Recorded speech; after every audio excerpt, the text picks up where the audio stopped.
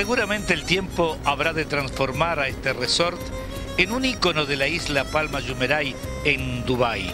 Fue inaugurado el 20 de noviembre del 2008 y el diseño de su arquitectura se basa principalmente en el Hotel Atlantis Paradise en Bahamas.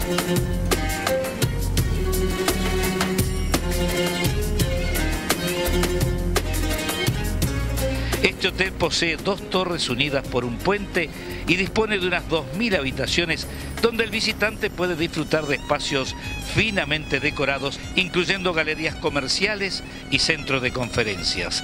Entre la enorme variedad de atracciones se puede disfrutar de un parque acuático de 16 hectáreas, rodeado de vegetación y árboles, pero lo máximo, bueno, lo máximo es este acuario considerado el más grande del mundo con una gigante variedad de peces. El acuario es la perla de la zona del Atlantis que ofrece múltiples oportunidades de entretenimiento y ocio.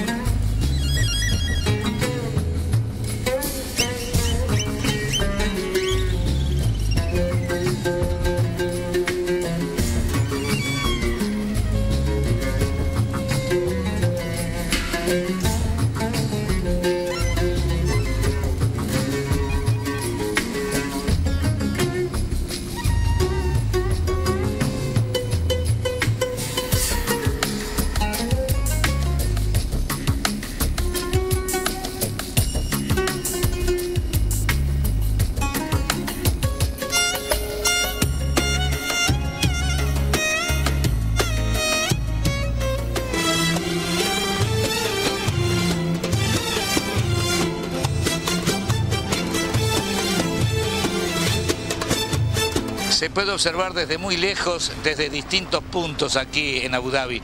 En este caso ha sido en su momento una obra muy pero muy difundida. Es la Torre Arábica, ubicada sobre el mar, sobre una isla artificial localizada a 270 metros de la playa, sobre el Golfo Pérsico, la cual está conectada a tierra firme mediante una carretera que fue inaugurada ya por 1999 y su forma, como pueden observar, está inspirada en una embarcación a vela. Es un hotel un hotel de superlujo que se encuentra catalogado como de siete estrellas, categoría que va más allá de la clasificación normal debido a los servicios de altísimo nivel que la diferencian con cualquier otro tipo en el mundo.